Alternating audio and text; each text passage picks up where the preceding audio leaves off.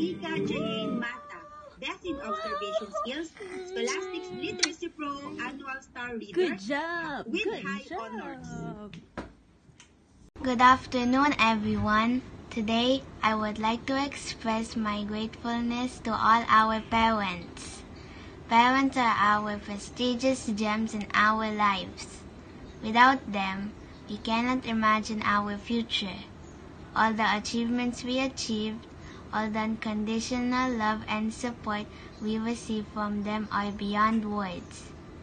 Thank you for guiding us in learning and doing everything possible to walk in the path of greatness in spite the threat of COVID-19. Thank you, mommies and daddies.